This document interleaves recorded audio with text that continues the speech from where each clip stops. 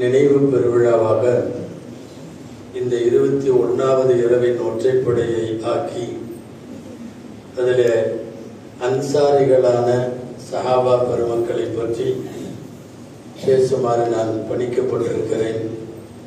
எல்லாம் அல்லாதா பயந்தரும் விஷயங்களை பேசவும் கேட்கவும் தொடர்ந்து அது குறித்து சிந்திக்கவும் வரும் நாட்களிலே செயலாற்றவும் அல்லாஹ் அருள் புரிவானாக ஆமீன்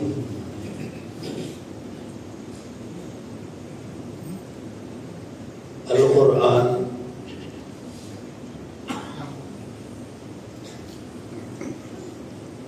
சஹாபாக்களை குறித்து பேசுகிற போது வஸ்ஸாபிகூன அவ்வலூன் முந்தியவர்கள் முதலாமானவர்கள் என்று சொல்லி முதலில் முஹாஜிர்களை சொல்லுகிறான் இரண்டாவது அன்சாரிகளை சொல்லுகிறான் மூன்றாவது இவர்களை பின்பற்றுபவர்களை சொல்லுகிறான்? கவனிக்க வேண்டும் உலகத்தில் நாலாவது ஒரு பிரிவு இல்லை. முகாஜர்களாக இருக்குதல் அன்சாரிகளாக இருக்குதல் அல்லது இவர்களை பின்பற்றுபவர்களாக இருக்குதல். எனவே சஹாபாக்கள் விஷயத்தில் சரியான கருத்து கொள்ளாதவர்களுக்கு இங்கே பட்டியலிலே இடமில்லை என்பது தெரிகிறது.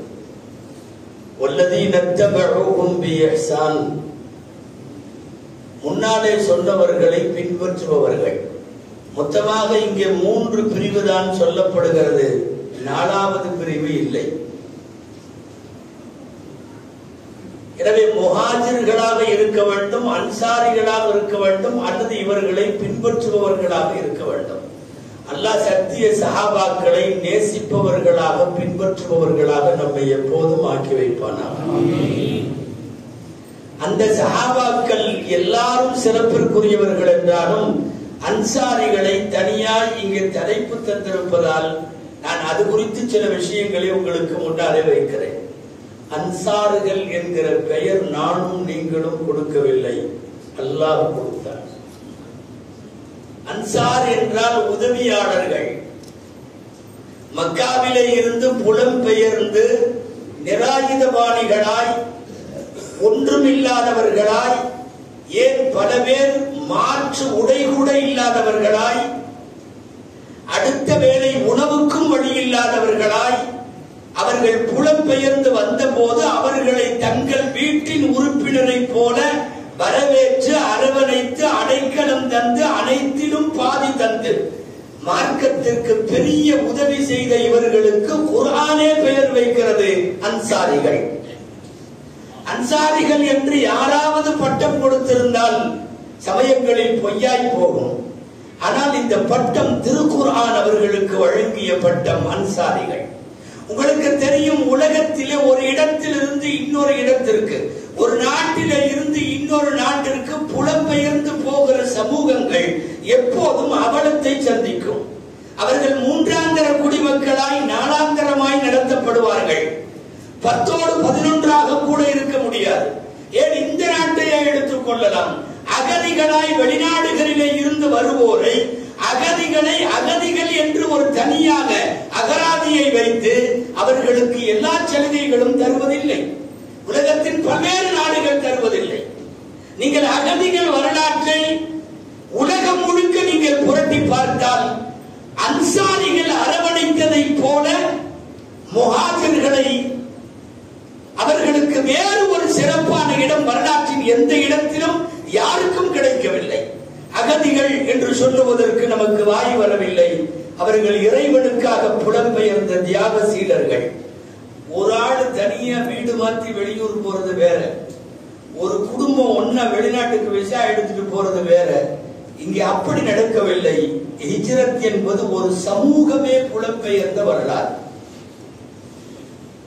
நாலு பேர் வந்தா ஊர் ஏத்துக்கிறது பெரிய அதிசயம் அல்ல நாலு பேர் வரல ஒரு ஊர் கிளம்பி வருகிறது ஒரு சமுதாயம் கிளம்பி வருகிறது முஸ்லிம் சமுதாயம் தன்னுடைய முழு முகவரியை மக்காவிலே விட்டுவிட்டு மதீனாவை முகவரியாக ஆக்கிக் கொள்ள வருகிறது. முகம் சுளிக்காமல் வரவேற்று அரவணைத்து கொடுத்தவர்கள் அன்சாரிகள். அல்லாஹ் பொருத்தமாக அவர்களுக்கு பெயர் வைத்தான். வம்சமெல்லாம் தழைக்கட்டும் என்றுதான் பெருமானார் செல்லல்லா அலைஹி வஸல்லம் செய்தார்கள். யாரெல்லாம் அன்சாரிகளை மன்னிப்பாயாக? அவர்களின் மக்களை மன்னிப்பாயாக? மக்களின் மக்களை மன்னிப்பாயாக? அபுனாயி அபுனாயில் அன்சார் என்று நீளும் துவாவில் இன்றளவும் தொடருகிற அன்சாரிகள் அத்தனை பேருக்கும் நபிகள் நாயகம் செல்லந்தா அலைஹி செல்லத்தினுடைய துவா உண்டு. சரி யார் இந்த அன்சாரிகள்? மதினாவிலே பிறந்தார்களா? இவர்கள் எங்கிருந்து வந்தவர்கள்? வரலாற்றை நீங்கள் கிளறி பார்த்தால் தெரியும் அவர்களெல்லாம் அன்சாரிகள் மதினாவாசிகள் அல்ல. அவர்கள் யமனில இருந்தார்கள். சரியாக சொல்வதானால் சங்கைக்குரிய இயற்கை எழில் கொஞ்சுகிற பூத்து குடுங்குகிற சபாதேசத்தில் இருந்தவர்கள் தான் அவுசுகளும் ஹசரஜுகளும். அங்கே ஒரு வெள்ளம் வந்தது. அந்த நாட்டில் சபாவில். இருந்தாலும் பரவாயில்லை இன்னும் கொஞ்ச நாள் இருப்போம் என்றால் உள்ளூர் ஜோதிடக்காரன் ஒருவன் தகவல் சொன்னான் அடுத்து ஒரு பேராபத்து வரும் இங்கிருக்கிற யாரும் தப்பிக்க முடியாது. கிளம்பி செல்பவர்கள் செல்லலாம் என்றான். அப்போது கிளம்பினார்கள் அவுஸ் ஹசரத் என்கிற இரண்டு கோத்திரத்தினர். இவர்களுக்கு யமன் நாட்டிலே இருந்தது அந்த பெயர். அவுஸ் என்பது அரபியில் ஓனாய்க்கு சொல்லப்படும். ஹசரத் என்பது குளிர்ந்த காற்றுக்கு சொல்லப்படும். இவர்கள் கிளம்பி அப்படியே வழியில வருகிற போது எஸ்ரிபுக்கு வருகிறார்கள். எஸ்ரிபு மதீனத்துல் நபியுடைய பழைய பெயர். அப்போது எசிரிப்பு யூதர்களின் ஆதிக்கம் யகூதிகளின் ஆதிக்கம். திடீரென்று நாடோடிகளைப் போல தம் ஊருக்குள் வந்தவர்களை நிறுத்தி விசாரிக்கிறார்கள் யகூதிகள் நீங்கள் யார்? நாங்கள் சபாவில் இருந்து வருகிறோம். நாங்கள் எல்லாம் ஹவுஸ் நாங்கள் எல்லாம் ஹசரத் எங்களுடைய வம்சம் ஒரு தந்தையிடம் இருந்து வருகிறது. நாங்கள் எல்லாம் பங்காளிகள் சிறிய தந்தை பெரிய தந்தையின் மக்கள்.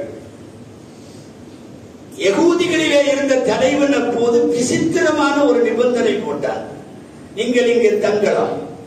தங்குவதாக இருந்தால் ஒரு வேலை செய்ய வேண்டும். என்ன தெரியுமா? உங்களில் எந்த பெண்ணுக்கு திருமணம் நடந்தாலும் அந்த பெண்ணை திருமணம் முடிந்தவுடன் முதன் முதலாக எங்கள் யூத மதத்தினுடைய பாதிரிகளிடம் அனுப்ப வேண்டும். அந்த பெண்ணை அவர் தாம்பத்தியம் நடத்தியதற்கு பிறகுதான் அடுத்தவர்கள் நடத்த முடியும். தங்க இடமில்லை வேறு வழி இல்லை ஒப்புக்கொண்டார்கள். இருந்தார்கள். முதன் முதலாய் ஒரு பெண்ணுக்கு திருமணம் நடக்கிறது. ஒப்பந்தப்படி யகூதிகளுடைய தலைவனுக்கு அந்த பெண்ணை கொடுக்கிற போது பப்ளிக்ல எல்லாருக்கும் முன்னால் தன்னுடைய ஹிஜாபை அன்றைக்கே போட்டிருந்த அந்த ஹிஜாபை எல்லாம் அவிழ்த்து எரிந்து விட்டு அந்த பெண் அவுசு ஹசரத்தை பார்த்து கேட்டால் நீங்கெல்லாம் ஆம்பளைங்க தானவா? கணவன் அல்லாத ஒருவனிடம் என்னை அனுப்புவதற்கு உங்கள் மனம் சம்மதிக்கிறது என்றால் நீங்களெல்லாம் உண்மையான ஆம்பளைங்க தானவா? என்று அந்த பெண் கேட்ட கேள்வி ரோஷத்தை உண்டாக்கியது. சண்டை வந்தாலும் பரவாயில்ல அனுப்புறது இல்லைன்னு முடிவுக்கு வந்தாங்க. யகூதிகளுக்கும் அவுசு ஹசரஜுக்கும் யுத்தம் நடக்கிறது. யுத்தத்தில் ஜெயித்தார்கள் அவுசு ஹசரஜிகள் அதாவது வருங்கால அன்சாரிகள் இவர்கள். ஜெயித்தார்கள் ஜெயித்த உடனே வழக்கம் போல் பணித்து மண்டியிட்டான் யகூதி. சொன்னான் நாங்கள் இந்த ஊரிலே கடைசி நபியின் வருகைக்காக காத்து கொண்டிருக்கிறோம். அதுவரை நாங்கள் பேசாமல் இங்கே இருந்து கொள்ளுகிறோம். எங்களை விட்டு விடுங்கள் என்றான். அவன் அவர்கள் கெஞ்சிய நிலை போய் இன்றைக்கு இவன் கெஞ்சும் நிலையாகிவிட்டது. செல்வாக்கோடு வாழ்ந்தார்கள் ஹவுசும் ஹஸ்ரஜும். அப்போதுதான் அங்கே உள்ள அரபுகளினுடைய ஹஜ்ஜு வழக்க பிரகாரம் நாலு பேர் ஹஜ்ஜுக்கு வருகிறார்கள். நபிகள் நாயகம் நபிப்பட்டம் பெற்ற பன்னெண்டு வருடமாச்சு. ஹஜ்ஜில மினாவில வைத்து சந்திக்கிறார்கள் நாலு பேர் ஹவுஸ் ஹசரத்தை சார்ந்தவர்கள். அடுத்த ஆண்டு ஆறு பேர். அதற்கடுத்த ஆண்டு வரிசையாக வரலாறுகளில் அகபத்து ஊலா தானியா தாலிதா என்றெல்லாம் பதிவு செய்யப்பட்டிருக்கும். யகூதிகளை முந்திக் கொண்டு இவர்கள் வரவேற்பு கொடுத்தார்கள். வாருங்கள் எங்கள் ஊருக்கு என்று கூப்பிட்டார்கள். நபிகள் ஸல்லல்லாஹு அலைஹி செல்லம் தனி ஆளாக அல்ல அவர்கள் ஒரு சமுதாயமாகவே அந்த ஊருக்கு போனார்கள். அன்சாரிகளினுடைய ஆரம்ப வரலாறு இது. எஸ்ரிபுக்கு குடியேறினார்கள். பின்னாலே அல்லாஹுவும் ரசூலும் கொடுத்த பெயர் மதீனா. குரானும் ஹதீஸும் அந்த ஊருக்கு கொடுத்திருக்கிற பெயர் மதீனா. நபிகள் அலைஹி வஸல்லம் அன்சாரிகளினுடைய அரவணைப்பில் விருந்துபசரிப்பில் கவனிப்பில் உண்மையாகவே அவர்கள் சொக்கி போனார்கள் என்று சொல்ல வேண்டும். லவுலல் ஹிஜ்ரத்து லகுந்து இம்ரான் மினல் அன்சார். ஹிஜ்ரத் மாத்திரம் இல்லைன்னா அங்கிருந்து இங்க வர்றதுங்கிற இந்த ஒரு ஃபார்மாலிட்டி இல்லைன்னா நான் அன்சாரிகளில் ஒருவனாகவே இருப்பேன். ரசூல் ஸல்லல்லாஹு அலைஹி வஸல்லம் அன்சாரிகளை நேசித்து சொன்ன வார்த்தை. உழைப்போரின் போரின் போது ஒரு சின்னதாய் சடசடப்பு. அன்சாரிகளுக்கு எதுவும் கிடைக்கவில்லை. சாஜிபின் உபாதா வந்தார் ரதியல்லாஹு அன்பு ஹஸ்ரஜின் தலைவர். என்ன? இல்ல மதீனா வாசிகளுக்கு ஒண்ணும் கிடைக்கலன்னு பேசுறாங்க. பேசுறது இருக்கட்டும் நீங்க என்ன சொல்றீங்க? யார சொல்லலாம் நானும் அந்த கூட்டத்துல உள்ள ஒருத்தன் தானே அவர்கள் சொல்லுவதை சொல்லுகிறேன். எல்லாத்தையும் ஒரு இடத்துல கூட்டி நிக்க வைங்கள நான் வரேன் ஹஸ்ரத் தலைவர் சையத் சஅதுபின் உபாதா எல்லாரையும் கூட்டி நிற்க வைத்தார் ஸல்லல்லாஹு அலைஹி வஸல்லம் அங்கே வந்தார்கள் அலா தர்தவுன இன்ன الناس يعودون بالشاي بالشات وانتم تعودون الى رحالكم برسول الله صلى الله عليه وسلم எல்லா மக்களும் கனிமத்திலே கிடைத்த ஆடு மாடுகளை ஒட்டகங்களை எடுத்துக்கொண்டு வீட்டுக்கு போகிறார்கள். அன்சாரிகளே நீங்கள் ரசூலுல்லாவை கொண்டுட்டு உங்க வீட்டுக்கு போறீங்க. உங்களுக்கு எது பிடிக்கும் சொல்லுங்கள். பெருமானார் செல்லல்லா கொலைக்கு செல்லும் புகழ்பெற்ற வார்த்தைகளை எல்லாம் அன்சாரிகளை பற்றி அந்த சபையில் தான் பேசினார்கள். லவ் சலக்கன் நாசு வாதியன் வல் அன்சாரு வாதியன். மக்களெல்லாம் ஒரு பாதையில் போனால் அன்சாரிகள் ஒரு பாதையில் போனால் நான் அன்சாரி பாதையில் தான் போவேன். மீண்டும் மக்கா கைவசப்பட்ட பிறகும் கூட நபிகள் நாயகம் ஸல்லல்லாஹு அலைஹி செல்லும் மக்காவில் அடங்கவில்லை. அரவணைத்த மக்களின் அன்புக்கு கடனாய் அந்த மதீனத்து மண்ணில் தான் உறங்குகிறார்கள் நபிகள் நாயகம் ஸல்லல்லாஹு அலைஹி செல்லும் அவர்கள் அரவணைத்த அரவணைப்பு தாவை எல்லா முஸ்லிம்களையும் வரவேற்றது இருக்கட்டும். ரசூலுல்லாவை எப்படி வரவேற்றார்கள்? அனஸ் எல்லா பண்பு சொல்லுகிறார்கள் லம்மா தகல ரசூலுல்லா சல்லல்லாஹு அலைஹி வஸல்லம் அல் மதீனா இஸ்தனார குல்லு ஷையின் நாயகம் மதீனா நுழைந்த நாளில் எல்லாம் பிரகாசித்தது. எல்லாம் பிரகாசித்தது. எங்கள் முகங்கள் பிஞ்சுகள் பெருசுகள் வயதானவர்கள் எல்லாம் வீடுகளுக்கு மேலே திட்டுகளுக்கு மேலே அங்கே இங்கே என்று குபாவிலே இருந்து கிளம்பி ரசூலுல்லா மதீனாவிற்குள்ளே நுழையும் வரை தலால் மதுரு அலைனா மின் கனியாத்தில் வதா. ரசூலுல்லாஹுவை வைத்து படித்து புகழாரம் சுட்டி வரவேற்றார்கள். நிசரதி அல்லா பண்பு சொல்லுவார்கள் வாழ்க்கையில் எங்களுக்கு ரசூலுல்லா மதீனாவிலே நுழைந்த நாளை விட சந்தோஷமான நாள் வேறு எந்த நாளும் இல்லை. கவனிக்கவும் அனசும் அன்சாரி சகாவிதான். உள்ளே நுழைகிற போது மக்கள் வெள்ளத்தில் மக்கள் திரளில் உள்ளே நுழையும் நபி ஸல்லல்லாஹு செல்லம் வஸல்லம். குழந்தைகளெல்லாம் வைத்து படித்துக் கொண்டு வரவேற்பதை பார்த்துவிட்டு குனிந்து அமர்கிறார்கள். அதில் சில குழந்தைகளை தன்னோடு அழைத்து அத்துஹிப்பூனனி? நீங்கள் என்னை நேசிக்கிறீர்களா? என்று கேட்கிறார்கள். நாம கேட்போம் என்னை உங்களுக்கு பிடிக்குமா? உங்களுக்கு என்னை பிடிக்குமா? நான் நுழைப்பு யார சொல்லலாம் ஆமா பிடிக்கும்னு சொன்ன உடனே "வஅன எனக்கும் உங்களை பிடிக்கும் என்று அந்த குழந்தைகளை ரசூலுல்லா அணைத்துக் கொள்ளுகிறார்கள். நபிகள் ஸல்லல்லாஹு அலைஹி செல்லம் உள்ளே நுழைந்ததிலே இருந்து அந்த மண்ணிலே அன்சாரிகளில் பெரும் பெரும் ஆளுமைகள் எப்படியெல்லாம் ரசூலுக்கு பக்கபலமாய் இருந்தார்கள்? நீங்கள் உங்கள் கண்ணுக்கு தெரிகிற பிரபலமான ஏராளமான சஹாபிகள் அன்சாரிகளின் வழித்தோன்றர்கள் பதிலுக்கு வித்திட்ட சாதுபனும் முகாதரதிகளாக அணுகும் நாயகத்தை மின்னளவு புகழ்ந்து முடித்து அதிலே திருப்திப்பட்டு கொண்ட ஹசானிபன் சாபித்திரதி எல்லாம் அணுகும் போர்க்களத்தில் வீர மரவாடிய அபூ துஜானா ரலியல்லாஹு அன்ஹு ரசூலுல்லாவுக்கு தங்க இடம் கொடுத்த அபு அய்யூப் அல் அன்சாரி ரலியல்லாஹு அன்ஹு நாயகமே நீங்கள் இவருக்கு ஓதி காட்டுங்கள் என்று சொன்னார்களே அந்த உபை இவனுக்கு ரதியல்லாஹு வரிசையாய் நீளும் இந்த பட்டியலில் எக்கச்சக்கமான சஹாபிகள் பெரும் பங்காற்றியவர்கள் இஸ்லாமிய வளர்ச்சியில். அன்சாரிகள்னா வெறுமனே வீடும் சாப்பாடும் கொடுத்தாங்க என்று மாத்திரம் நாம் அந்த வட்டத்தை சுருக்கி விட முடியாது. பதிலுக்கு காரணமே சாதுபன் மாதிரதியல் தான். அவர் பேசி நாங்கெல்லாம் ரெட்டி கிளம்புங்கன்னு சொன்னதுக்கு அப்புறம் தான் நபிசல்லாதி செல்லம் கிளம்பினார்கள் சாதுபன் மாதிரதியல் தான் اهتز عرش الرحمن بموت سعد بن معاذ سعد بن معاذ மரணித்த போது சந்தோஷத்தில் அரிசி சற்று அசைந்தது என்று வருகிறது ஹதீஸில் யாராவது ரொம்ப பிரியமானவங்க வந்துட்டா அப்படியே ஆணி அடிச்ச மாதிரி உட்கார்ந்துருக்க மாட்டோம் ஒரு ஒரு ஒரு மகிழ்ச்சி ஒரு துள்ளல் வரும் அல்லவா? ரசூலின் சஹாபி சகதுபின் முகாதவுக்கு அரிசி துள்ளி இருக்கிறது. அது எல்லாம் எழுபதாயிரம் வழக்குகள் அவர் ஜனாசாவிலே பங்கேற்றதாய் செல்லந்தா அலைஹி செல்லம் சொல்லுகிறார் காலை உந்தி விந்தி நடக்கிறார்கள் ஜனாசாவிலே. முழுமையாக கீழே உண்டாமல் ஏன் இப்படி நடக்கிறீர்கள் யார் சொல்லலாம் சாதின் மௌத்துக்கு திரண்டிருக்கிற மலக்குகளின் கூட்டம் நான் நெருக்கடியில் நடக்கிறேன்.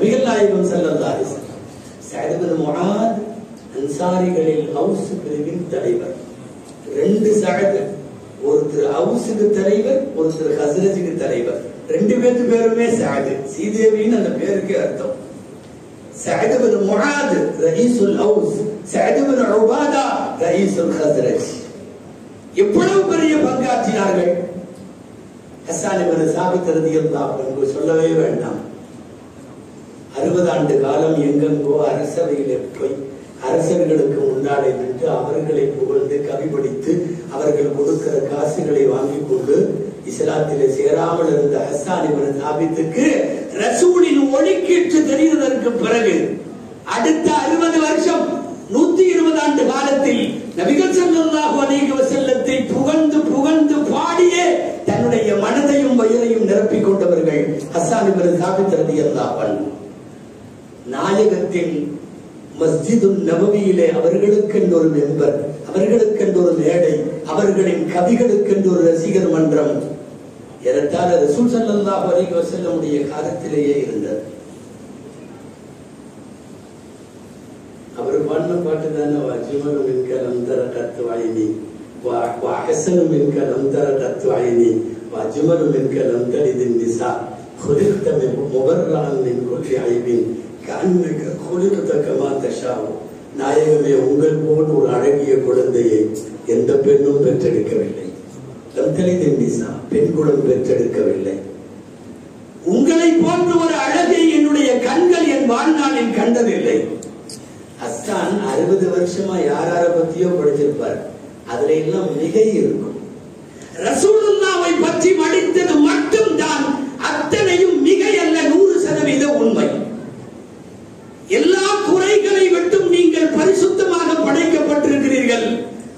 அநேகமாய் நீங்கள் மட்டும்தான் நீங்க விரும்பின மாதிரி படைக்கப்பட்டிருக்கீங்க. என்ன அழகான வார்த்தை. நம்மளுக்கெல்லாம் நாம விரும்புற மாதிரி படிக்கிறது இல்ல. குட்டையா நெட்டையா கருப்பா வெள்ளையா? எத்தனையோ பேருக்கு என்னென்னவோ வருத்தம் பல பேர் நம்ம கண்ணாடிக்கு முன்னாடி நின்று விடுமிடுன்னு மண்டம் மின்றப்ப நமக்கு கொஞ்சம் முடி இருந்திருக்கலாமே. இப்படி சொட்டையா போச்சு. இப்படி குட்டையா போச்சு நெட்டையா போச்சு கருப்பா போச்சு வெள்ளையா எத்தனை எத்தனை? கண்ணக்க குளிர்த்தக்கமா தஷாவும் நீங்க விரும்பின பிரகாரம் அல்லாஹ் உங்களை படைச்சிருக்கான். பெருமானா சல்லல்லாஹு அலைஹி வஸல்லம் வஃபாத்தான தினத்தில் ஹஸான் இப்னு தாபித் ரலியல்லாஹு அன்ஹு ஒரு ஒரு 24 பக்க 24 வரிகளிலே படித்த கவிதை அரபு மொழி தெரிந்த எவன் கேட்டாலும் கதறி அழுகுவான் அல்லாஹ் அக்பர். ஒமா ஃபகத ஒமா ஃபகதல் மாதூன மிஸ்ல முஹம்மத் முஹம்மதுவின் இழப்பை போல் இதுவரை முன்னோர்கள்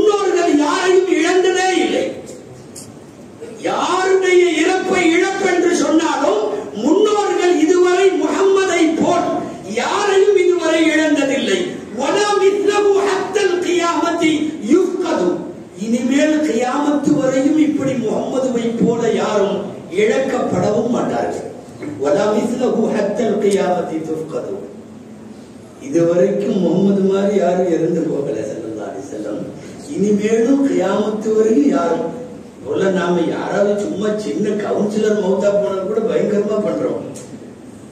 ஈடு செய்ய முடியாத பேரிழப்பு அப்படின்னு அங்க ஒண்ணும் பேரிழப்புலாம் ஆக போறது இல்லை. அந்த ஆள் போனாலும் இந்த துல்லியா கரெக்டா எல்லாம் நடந்துட்டு தான் இருக்கும். சாப்பிடுற இட்லியில ஒண்ணு கூட குறையாது. ஆனாலும் கூட தாங்கொடாத முடியாத துயரத்தில் விட்டு விட்டு எங்களையெல்லாம் மீளா துயரில் ஆக்கி விட்டு அப்படின்னு சொல்லி எத்தனை எத்தனை பில்டப் கொடுக்குறோம். ஒருத்தர் இறந்து போகிறோம் போது யார்கிட்டயாவது கூட சேர்ந்து நீயும் மௌத்தாகிறேன்னு கேட்பாரு.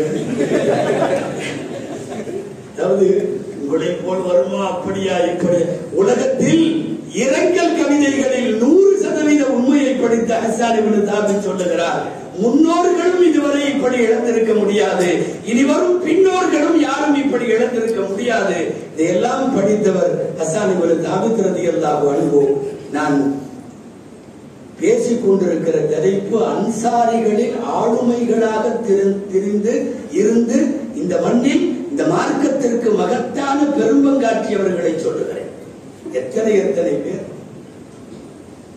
துஃபை ரதியல்லா அன்பு அவர் துஃபை கடைசியா மௌத்தான சாஹாபி லாஸ்டா மௌத்தான சாஹாபி.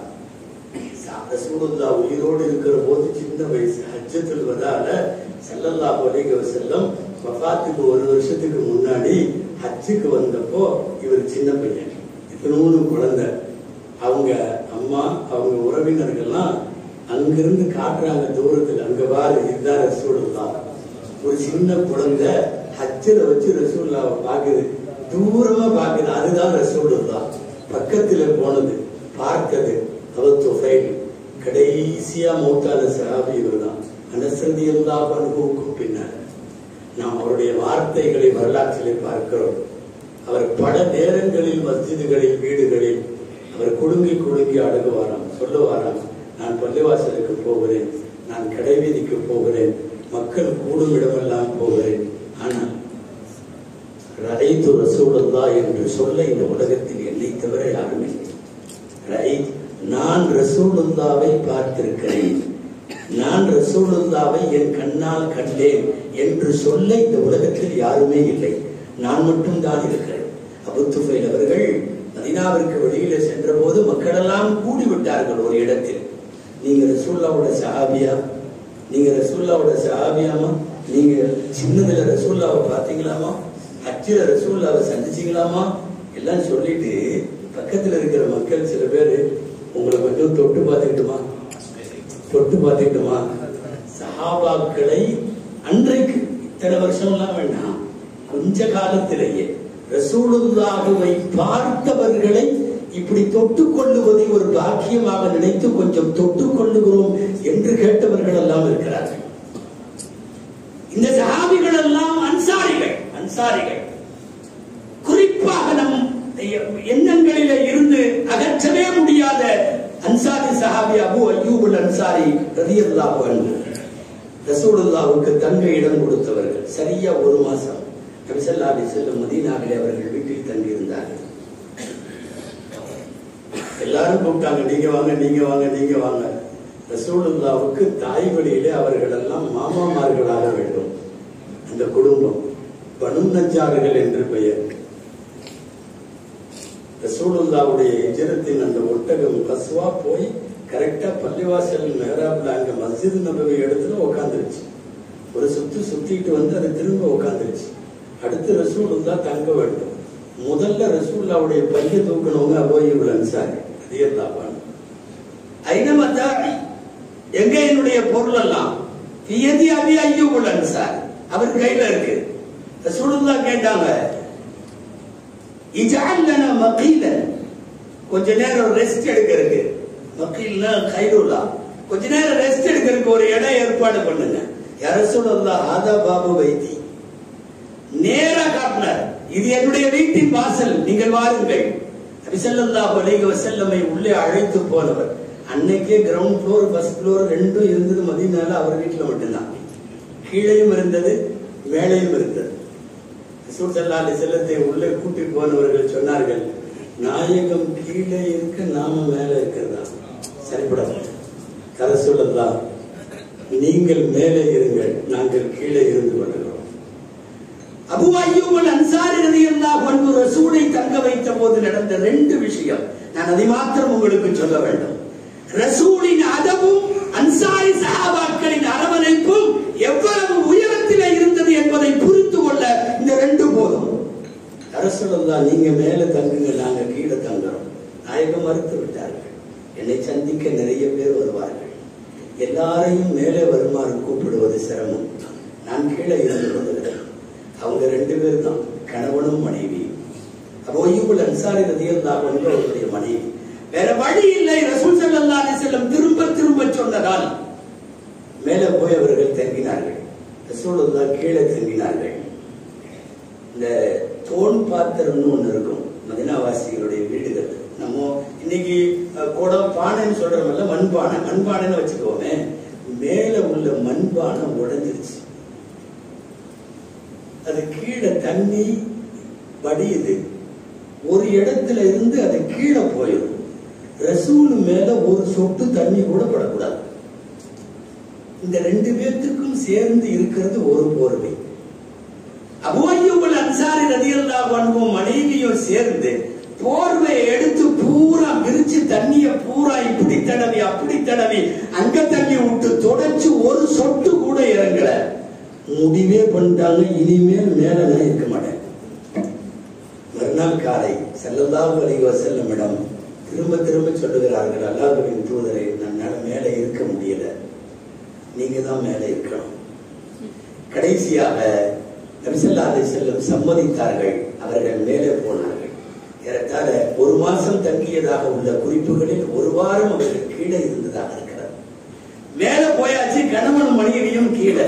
அபூஅய்யூபுல் அன்சாரி ரலியல்லாஹு அன்ஹு ரசூலுக்காக பார்த்து பார்த்து சமைத்து கொடுப்பார்கள். ஒரு தட்டில மேலே கொண்டு போய் வைப்பார்கள். நபி அலைஹி வஸல்லம் சாப்பிட்டு முடித்து விட்டு தட்டு கீழே வர்ற வரைக்கும் இவங்க ரெண்டு பேரும் சாப்பிட மாட்டாங்க. காரணம் என்னன்னா அந்த மிச்ச வரக்கத்து கொஞ்சம் வரும். அதிலே சாப்பிட வேண்டும். எவ்வளவு நேரமானா? பெருமானார் செல்லல்லாடி செல்லம் சாப்பிட்டு முடித்து விட்டு தட்டை கீழே அனுப்பிய பிறகு ரெண்டு பேரும் ஏறத்தாழ தட்டை படித்து சாப்பிட்டு விடுவார்கள். ரோயுல் அன்சாரி ரதியல்லாஹு ஒன்று ஒரு நாள் உணவு வைக்கிறார்கள். ரெண்டு நேரம் கழித்து தட்டு வந்தது. மேலிருந்து எடுத்து வந்து அபோயுபுல் அன்சாரி பார்த்தால் கை வைத்ததாகவே தெரியவில்லை. தொடவே இல்லை. விசேஷமாக அன்றைக்கென்று அபோயுபுல் அன்சாரி ரதியல்லாஹு அன்ஹு சமைத்த உணவு. கடைசி வரைக்கும் தொடல. கேட்டார்கள் யார சொல்லல்லா உங்களுக்கு நேற்றைக்கு அனுப்பி வைக்கப்பட்ட அந்த இரவு உணவு நீங்கள் தொட்டதாகவே தெரியவில்லை. நபிசல்லா செல்லம் சொன்னார்கள் அதிலே உள்ள வாசத்தை நம்மள்கிட்ட இந்த அதிசயம் சொல்ல முடியாது. அதாவது வெங்காயம் பூண்டெல்லாம் போட்டு சமைக்கப்பட்ட உணவு. ஆனா உணாஜி மழை நான் மலக்குகளோடு அடிக்கடி உரையாடுகிறேன். இந்த வாசனை எனக்கு ஒத்து வராது. எனவே நான் சாப்பிடவில்லை. ஹராமும் யார சொல்லலாம் அபூஅய்யூபுல் அன்சாரி கேட்கிறார்கள். அப்ப அது ஹராமா? வெங்காயம் பூண்டு போன்றவை பசல் தூம் இதெல்லாம் ஹராமா? நபிசல்லாசன் சொன்னார்கள் ஹராம் அல்ல. என் உம்மத்துக்கு அது ஹராம் அல்ல. மலக்குகளோடு நான் பேசுவதால் அதை நான் சாப்பிடவில்லை. ஒய்யூல் அன்சாரி சொன்னார்கள் நீங்க மலக்குகளோடு பேசுவீர்கள். நான் மலக்குகளோடு எல்லாம் பேச மாட்டேன். ஆனால் நீங்கள் சாப்பிடாத உணவு மவுத்து வரையும் நானும் சாப்பிட மாட்டேன் அப்போ ஐயோபுல் அன்சாரி ரதி எல்லாம் அவர்களுடைய வரலாறு அவர்கள் வஃபாத்து வரையும் அந்த உணவை சாப்பிட்டதில்லை. அது போன்ற கடந்த எந்த உணவையும் அவர்கள் சாப்பிட்டதில்லை. ஒரு கணவனும் மனைவியும் ஒரு மாத காலம் குஜராத்துல் உமா உமாத்துல் என்று ரசூலுல்லாஹுடைய மனைவிமார்களுக்கான பிரத்யேக ஆடைகள் தயாராகிற வரை தங்கி இருந்த அந்த ஒரு மாத காலத்தில் அபு ஐயூபுல் அன்சாரி ரதியல்லாஹு அன்ஹு. நீண்ட வரலாறு என்பதால் தவிர்க்கிறேன் உங்களுக்கு தெரியும். அந்த வீடு கூட முன்னாலே துப்பா என்கிற யமன் நாட்டு மன்னரால் அன்பளிப்பாக வழங்கப்பட்ட வீடு அது ரசூலுடைய வீடு. அவருக்கே தெரியாம அவர் குடியிருந்திருக்கார் இவ்வளவு நாள். யாருக்கு தெரியல? அப்போ ஐயூபுல் அன்சாரிக்கு தெரியாது. அந்த பரம்பரையே குடியிருந்தது ஆனா வீடு யாருடைய பேர்ல இருக்கு? ரசூலுடைய வீடு. எதேச்சையா அப்படி வர்றப்ப வந்தார் அந்த துப்பாங்கிற மன்னர். எல்லாத்தையும் கொஞ்ச நாள் இருந்து போட்டு போகும்போது இந்த ஊர்ல மகனை விட்டுட்டு போயிட்டார். துப்பா மகனை விட்டுட்டு அவரு போயிட்டாரா? அந்த மகன் ஒரு மாதிரி போட்டு இருக்குது கிடைச்ச இடமெல்லாம் ஏறி ஒரு தெரியுது. வேற ஒரு பேரிச்சம்பழ மரத்துல ஏறி பெரிய பெரிய பழமா இருக்குன்னு மரத்துல ஏறி பூரா பறிச்சிட்டு இருந்தார். தோட்டத்துக்காரன் வந்து போட்டான். அந்த காலத்துல சகஜம். பெரிய பெரிய விஷயத்துக்கெல்லாம் கொலை செய்யணும்னு அவசியம் இல்லை. என் மரத்துல ஏன் அனுமதி இல்லாம வெட்டியாச்சு. துப்பாவுக்கு தகவல் போனது படையோடு வந்தார் அப்போதுதான் வீடு கொடுக்கிறார். நீங்கள் கவனிக்க வேண்டும். துப்பாக வந்தார். வந்து மதினாவாசிகளோடு சண்டை. எதற்கு தெரியுமா? தன்னுடைய மகனை வெட்டியதற்காக. சண்டையெல்லாம் நடந்தது. பகல்ல சண்டை நடக்குது. நைட்ல கிளீனா மதினவாசிய வீட்டுல இருந்து அவருக்கு சாப்பாடு அனுப்புறாங்க. அந்த ஆளே திரு திருன்னு முடிக்கிறார் இன்னைக்கு என்ன ஜனம்னே தெரியலையே. பகல் பூரா இப்படி சண்டை போடுறாங்க. நைட்டு பார்த்தா விசேஷமா விருந்து அனுப்புறாங்க. யூதர்களுடைய ரெண்டு பாதிரிகள் அவர் பக்கத்துல இருந்தாங்க. அவங்க சொன்னாங்க லா சபீல லக்க மின் எஸ்திரிப்பு உங்களுக்கு இனிமேல் எஸ்ரிப்ல வேலை இல்லை. ஏன்னா நீங்க இந்த கூட்டத்தை பார்த்து ஆச்சரியப்படுறீங்க. இந்த கூட்டம் பகலிலே சண்டை போடுவார்கள். ஆனால் விருந்தோம்பலில் உதவி செய்வதில் இவர்களுக்கு நிகராக யாரும் இல்லை. நீங்கள் புரிய வேண்டும் அன்சாரிகள் என்பது திடீரென்று ஏற்பட்ட தானமும் தயாளமும் அல்ல அவர்களின் பரம்பரையிலேயே இருக்கிறது. அப்பதான் அவர் சொன்னாராம் துப்பா. இப்ப நம்ம கடவுளா இனிமேல் இந்த மாதிரி விருந்து கொடுக்கிற கூட்டத்துக்கு சண்டை போட்டு என்ன பண்றது? கிளம்பிடுவோம் இங்க ஒரு வீடு. கடைசி நபி இங்க வருவார்னு சொல்றீங்கல்ல அவருக்கு நான் ஒரு வீடு ஏற்பாடு செய்கிறேன். வீட்டை கொடுத்து விட்டு போனார். அந்த வீடு மாறி மாறி மாறி மாறி மாறி குடியிருந்து இப்ப அபு ஐயபுல் அன்சாரி குடியிருக்கார். அவருக்கே தெரியல. இது அசல் இந்த வீட்டோட ஓனர் யாரு? யாருங்க? ஸல்லல்லாஹு வீட்டினுடைய ஓனர் நபிகள் நாயகம் ஸல்லல்லாஹு ஆனா குடியிருக்கிற அபோயூபுல் அன்சாரி ரலியல்லாஹு அன்ஹுக்கே தெரியல. நான் சொல்ல வந்தது அபோயூபுல் அன்சாரி ரலியல்லாஹு அன்ஹு உட்பட அன்சாரி பெருமக்கள் இந்த மண்ணில் அவர்கள் ஆற்றிய சேவை அவர்கள் இஸ்லாமிற்கு கொடுத்த அங்கீகாரம் ரசூலுல்லாஹுவோடு தோளோடு அவர்கள் தோல் நின்று செய்த பல்வேறு சேவைகள் இந்த மண்ணில் இன்றளவும் நீடித்து வைத்திருக்கிறது அவர்களின் புகழை. மௌத்தாக போகணும்னு யாரும் துவா செய்யப்படாது இல்லையா? மௌத்தா போகணும்னு கேட்கக்கூடாது. ஆனா மதினால மௌத்தாகணும்னு கேட்கலாம். அந்த மண்ணுக்கு ரசூலுல்லா செய்த மிகப்பெரிய மனிஸ்தத்தாக மின்கும். ஐயமூத்த ஃபில் மதீனத்தி ஃபல்யஃபஅல் ஃபஅன ஷாஃபிஉன் லஹு யௌமல் கியாமா. உங்களில் யாருக்காவது மதீனாவிலே மரணிக்க முடியும் என்றால் மரணிக்கட்டும். நான் அவர்களுக்கு மறுமையில் சிபாரிசு செய்வேன். அந்த மதீனா மண்ணுக்கு சொன்னது. எந்த அளவிற்கு சொன்னார்கள்?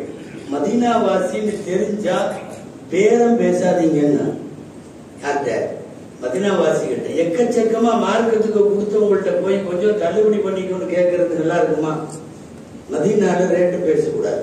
அதுக்காக இன்னைக்கு மதினால இருக்கிறவங்களை எல்லாம் நீங்க அன்சாரிகள்னு நினைச்சிடவும் கூடாது. அவன் நிறைய பாகிஸ்தானி கடை வச்சுட்டு உட்காந்துருக்கான் ஆப்கான்காரன் கடை வச்சுட்டு உட்காந்துருக்கான் பள்ளிவாசலை சுற்றி அவன் தான் உட்காந்துருக்கான் நீங்க அவன்கிட்ட இவர் பார்த்தா அன்சாரி மாதிரி தெரியுது. கொஞ்சம் விலை கம்மியா கேட்கலாமான்னு கேட்காம எல்லாம் வர வேணாம். அன்சாரியா இருந்தா நீங்க விலை கேட்கிற அளவுக்கு அங்க இருக்காது. அவ்வளவு நியாயமாக அவர்கள் இருப்பார்கள். இங்க பூரா இருக்கிறவன் பூரா பங்காளி அஹ், பாகிஸ்தானி இவங்க தான் உட்கார்ந்து இருக்காங்க இல்லாததெல்லாம் பேசி நிறைய வியாபாரம் செய்யறாங்க அவங்க. அந்த மாதிரி எல்லாம் அவர்களிடத்துல ரேட்டு பேசாம இருக்கணும்னு அவசியம் இல்லை. காலம் முழுக்க நான் சொல்லுவது சஹீபுல் புகாரியினுடைய பாடத்தலைப்பு என்ன தெரியுமா? கொப்புள் அன்சாரி மினல் ஈமான். ஈமானுடைய பாடத்தில் இமாம் புகாரி ஒரு பாடத்திற்கு தலைப்படுத்துகிறார்கள் அன்சாரிகளை நேசிப்பது ஈமானின் அடையாளம். ஈமானின் அடையாளமாக இருக்கிற அன்சாரிகளை நேசித்தல். அப்படின்னா இதுக்கு மாற்ற நீங்க போட்டுக்கணும். அன்சாரிகளை கோபித்தல் என்பது ஈமான் இல்லை என்பதற்கு அடையாளம். ஈமான் இல்லை என்பதற்கு அடையாளம். அந்த மண்ணுக்கும் அந்த மக்களுக்கும் அல்லாஹ் வழங்கி இருக்கிற பெரிய மிகப்பெரிய பாக்கியம் என்ன? என் பெருமானார் ஸல்லல்லாஹு அலைஹி வஸல்லம் அங்கே தூங்குகிறார்கள். ரசூலுல்லாஹ் அங்கே தூங்குகிறார்கள் உலமாக்கள்கிட்ட ஒரு கருத்து வேறுபாடு உண்டு. நான் சொல்லி நிறைவுக்கு வருகிறேன். உலமாக்கள்கிட்ட ஒரு கருத்து வேறுபாடு உண்டு. என்ன தெரியுமா? மக்கா சிறந்ததா மதினா சிறந்ததா? தொண்ணூறு சதவீத உலமாக்கள் மக்கா தான் சிறந்ததுமாங்க காபத்துல்லா இருக்கிறதுனால மதாப் இருக்கிறதுனால மஸ்ஜிதுல் ஹராம் இருக்கிறதுனால மக்கா சிறந்தது என்பார்கள். மதீனாவை விட மக்கா சிறந்தது. ஆனா அப்படி மக்கா சிறந்தது என்று சொல்லுகிற மார்க்க அறிஞர்களும் என்ன எழுதுவார்கள் தெரியுமா? மக்கா உலகத்தில் உள்ள எல்லா பகுதியை விட மக்கா சிறந்தது. ஆனால் மதினாவிலே ரசூல் அடங்கி இருக்கிற அந்த ரவுதாவை விட மக்கா சிறந்தது அல்ல அது இரண்டாவது கேட்டகரி தான் உங்களுக்கு புரிகிறதா பொதுவாக ரெண்டில் எது சிறந்தது என்றால் மக்கா சிறந்தது. மதினாவை விட மக்கா சிறந்ததா? இல்லை மதினாவில் ரசூல் அடங்கி இருக்கிற ரவுதா அது மக்காவை விடவும் சிறந்தது. வேண்டுமென்றால் மதீனாவின் வேறு இடங்களை பார்த்து அங்கிருக்கிற பகுதி இங்கிருக்கிற பகுதி குபா பகுதி அகல் பகுதி இதெல்லாம் வேணா மக்காவை விட அதை விட மக்கா சிறப்பாக இருக்கலாம். ரவுதாவை விட சிறந்த இடம் உலகத்தில் எங்கும் இல்லை. அன்சாரிகளுக்கு ரசூலுல்லா செய்த பெரும் கொடை என்ன தெரியுமா? கண்மூடியதற்கு பின்னால் ரசூலுல்லா தங்களை அவர்களிடம் ஒப்படைத்தார்கள். மக்காவாசிகள்கிட்ட ஒப்படைக்கல அவர்களிடம் ஒப்படைத்தார்கள். மாணவி உறங்குகிற மண்ணுக்கு சொந்தக்காரர்கள் அந்த அன்சாரிய பெருமக்கள் துவா செய்யுங்கள் எல்லாம் வல்ல அல்லாஹ் ஜல்ல அவன் திருமறையில் சொன்னதை போல் முஹாஜிர்களை அன்சாரிகளை அந்த முன்னோர்களை பின்பற்றும் மக்களாக நாம் ஆக வேண்டும். அவர்களை நேசிப்பவர்களாக ஆக வேண்டும்.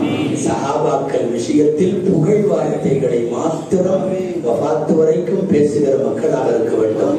அல்லாஹ் ரதியல்லா வழங்கும் என்று எவர்களை சொன்னாலும் அவர்களுக்கு அல்லாஹ் உயரிய ஜன்னத்துல் ஃபிர்தௌஸில் அவர்களோடு நமக்கும் இடம் தருவானாக வாய்ப்புக்கு நன்றி ஜஸாக்கும் அல்லாஹு கைரல் ஜஸா وآخر دعوانا أن الحمد لله رب العالمين السلام عليكم ورحمة الله وبركاته